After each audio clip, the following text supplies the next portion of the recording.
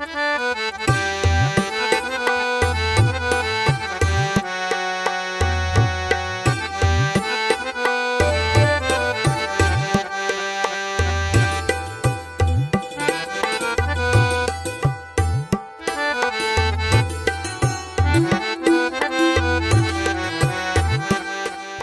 ਬੱਚਿਆਂ ਨੂੰ ਪ੍ਰੇਰਣਾ ਕਰਕੇ ਇਹ ਦੱਸਣਾ ਵੀ ਗੁਰੂ ਗ੍ਰੰਥ ਸਾਹਿਬ ਜੀ ਮਹਾਰਾਜ ਦੇ ਸਾਹਮਣੇ ਜਾ ਕੇ ਮੱਥਾ ਟੇਕਣਾ।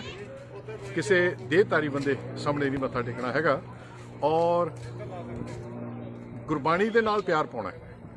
ਗੁਰਬਾਣੀ ਦੇ ਨਾਲ ਪਿਆਰ ਤਾਂ ਹੀ ਪੈ ਸਕਦਾ ਜੇ ਅਸੀਂ ਪਹਿਲਾਂ ਬੱਚਿਆਂ ਨੂੰ ਪੰਜਾਬੀ ਵੀ ਸਿਖਾਵਾਂਗੇ। ਪੰਜਾਬੀ ਸਿਖਾਉਣੀ ਬਹੁਤ ਜ਼ਰੂਰੀ ਹੈ। ਆਮ ਕਰਕੇ ਜਿਹੜੇ ਬੱਚੇ ਤੇ ਹੁਣ ਜੰਮਦੇ ਪਲਦੇ ਨੇ ਮਾਪਿਆਂ ਨੂੰ ਇਹ ਖਿਆਲ ਹੁੰਦਾ ਮਾਪੇ ਨੂੰ ਇਹ ਖਿਆਲ ਹੁੰਦਾ ਵੀ ਇਹਨਾਂ ਦੇ ਅੰਗਰੇਜ਼ੀ ਸਿੱਖ ਜਾਣ, ਪੰਜਾਬੀ ਦੇ ਵਿੱਚ ਤਵੱਜੋ ਜਿਹੜੀ ਹੈ ਉਹ ਘੱਟ ਹੋ ਜਾਂਦੀ ਹੈ। ਉਹਦੇ ਨਾਲ ਸਗੋਂ ਉਹ ਗੁਰੂ ਸਾਹਿਬਾਨ ਤੋਂ ਵੀ ਦੂਰ ਦੂਰ ਹੁੰਦੇ ਜਾਂਦੇ ਨੇ।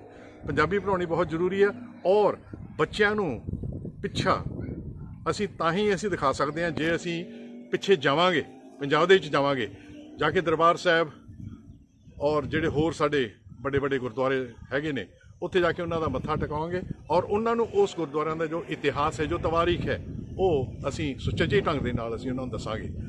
ਹਰ ਇੱਕ ਬੱਚੇ ਨੂੰ ਦਸਾਂ ਗੁਰੂਆਂ ਸਾਹਿਬਾਂ ਬਾਰੇ ਪਤਾ ਹੋਣਾ ਚਾਹੀਦਾ ਵੀ ਸਾਡੇ 10 ਗੁਰੂ ਕਿਹੜੇ ਸਨ ਔਰ ਹਰ ਇੱਕ ਗੁਰੂ ਨੇ ਕੀ ਕੁਝ ਕੀਤਾ ਜੋ ਸਾਡੇ ਕੋਲ ਇਹ, ਜੋ ਬਹੁਤ ਵੱਡੀ ਦਾਤ ਸਾਨੂੰ ਮਿਲੀ ਹੋਈ ਆ ਗੁਰਬਾਣੀ ਦੀ। ਅਖੀਰ ਦੇ ਵਿੱਚ ਬਾਣੀ ਗੁਰੂ ਗੁਰੂ ਹੈ ਬਾਣੀ ਵਿੱਚ ਬਾਣੀ ਅੰਮ੍ਰਿਤ ਸਾਰੇ। ਸੋ ਇਹ ਜਿਹੜੇ ਇਤਿਹਾਸਿਕ ਦਿਨ ਦਿਹਾੜੇ ਹੁੰਦੇ ਨੇ, ਇਹਨਾਂ ਨੂੰ ਵੀ ਮਨਾਉਣਾ ਬਹੁਤ ਜ਼ਰੂਰੀ ਨੇ। ਔਰ ਇੱਥੇ ਦੇਖ ਲਓ ਵਾਹਿਗੁਰੂ ਦੀ ਕਿਰਪਾ। ਤੁਸੀਂ ਇੱਕ ਕਦਮ ਉਧਰ ਨੂੰ ਚੱਕੋ, ਤਾਂ ਵਾਹਿਗੁਰੂ ਪ੍ਰਮਾਤਮਾ ਗੁਰੂ ਸਾਹਿਬ ਲੱਖਾਂ ਕਦਮ ਚੱਕ ਕੇ ਤੁਹਾਡੇ ਕੰਨੀ ਤੁਹਾਡੇ ਕੰਨੀ ਨੂੰ ਆਉਂਦੇ ਨੇ।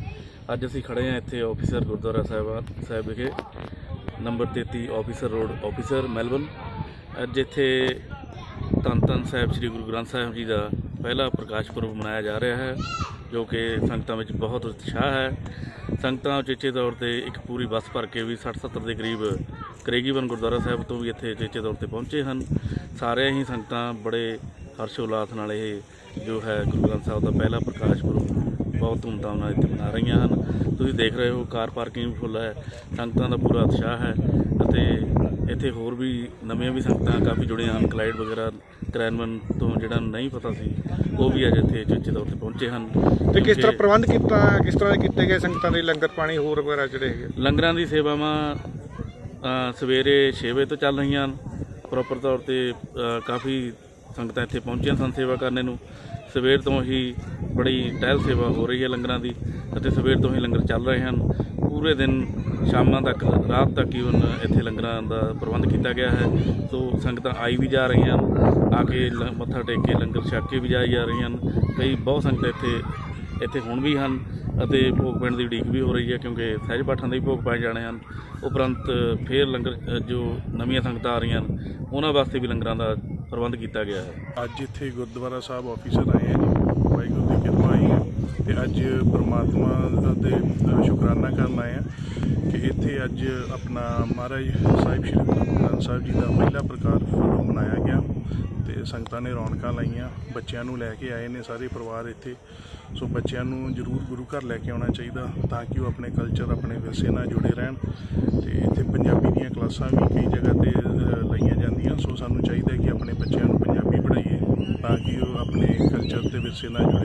I just wanted to extend my appreciation uh, to the Sikh community and I also wanted to congratulate you on your very special day today. The Sikh community do amazing work here in Officer and in Pakenham and I love spending time with the community here and I look forward to doing it more in the future. Disasters. Extraordinary generosity, um, especially locally, Harpreet. Um, the way that the, the Sikh community came together to support the wider community in general was, was, amazing work, especially around the delivery of, of pantry products and meals um, to those that really needed it at the time when people couldn't leave their houses to go to the supermarket and get what they needed. And a lot of people lost their jobs uh, at that time. And the Sikh community really stood up, and, and my appreciation is, is forever. ਸਾਰੀ ਸੰਗਤ ਨੂੰ ਬਹੁਤ-ਬਹੁਤ ਵਧਾਈਆਂ ਜੀ। ਅੱਜ ਪਹਿਲਾ ਪ੍ਰਕਾਸ਼ ਉਤਸਵ ਹੈ ਗੁਰੂ ਗ੍ਰੰਥ ਸਾਹਿਬ ਜੀ ਦਾ ਜਿਹੜਾ ਅਸੀਂ ਆਫੀਸਰ ਗੁਰੂ ਕਾਰਜ ਬੜੇ ਧੂਮ-ਧਾਮ ਨਾਲ ਬੜੀ ਬੜੇ ਪਿਆਰ ਦੇ ਨਾਲ ਮਨਾ ਰਹੇ ਹਾਂ ਜੀ। ਸਵੇਰ ਤੋਂ ਸੰਗਤਾਂ ਜੁੜੀਆਂ ਹੋਈਆਂ ਜੀ। ਤਰ੍ਹਾਂ ਤਰ੍ਹਾਂ ਦੀ ਅਲੱਗ-ਅਲੱਗ ਜਗ੍ਹਾ ਤੋਂ ਸੰਗਤਾਂ ਆ ਰਹੀਆਂ ਜੀ ਗੁਰੂ ਘਰ ਵਿੱਚ ਦਰਸ਼ਨ ਕਰਨ ਲਈ। ਸਵੇਰੇ ਤੋਂ ਲੰਗਰ ਟੁੱਟ ਚੱਲ ਰਹੇ ਹੈ। ਮਾਪਿਓ ਵੀ ਆਪਣੇ ਬੱਚਿਆਂ ਨੂੰ ਲੈ ਕੇ ਆ ਰਹੇ ਹਨ ਜੀ ਤਾਂ ਕਿ ਬੱਚੇ ਆਪਣੇ ਵਿਰਸੇ ਨਾਲ ਜੋੜ ਸਕਣ ਗੁਰੂ ਗ੍ਰੰਥ ਸਾਹਿਬ ਜੀ ਨਾਲ ਜੁੜ ਸਕਣ ਤੇ ਅਹ, ਮੈਂ ਮਾਪਿਓ ਦਾ ਵੀ ਬਹੁਤ ਧੰਨਵਾਦੀ ਹਾਂ। ਮੈਂ ਸਾਰੇ ਬਜ਼ੁਰਗਾਂ ਦਾ ਵੀ ਬਹੁਤ ਧੰਨਵਾਦੀ ਹਾਂ ਜਿਹੜੇ ਸੇਵਾ ਕਰ ਰਹੇ ਹੈ। ਕਿਚਨ ਵਿੱਚ ਵੀ ਸੇਵਾ ਕਰ ਰਹੇ ਹੈ, ਜੀ, ਲੰਗਰ ਹਾਲ ਵਿੱਚ ਵੀ ਸੇਵਾ ਕਰ ਰਹੇ ਹਾਂ। ਤੇ ਇਤਿਹਾਸਿਕ ਪਰਵ ਹੈ ਜੀ, ਤੇ ਬੜੀ ਧੂਮਧਾਮ ਦੇ ਨਾਲ, ਬੜੀ ਬੜੇ ਪਿਆਰ ਦੇ ਨਾਲ ਸੰਗਤ ਇੱਥੇ ਮਨਾ ਰਹੀ ਹੈ ਜੀ, ਤੇ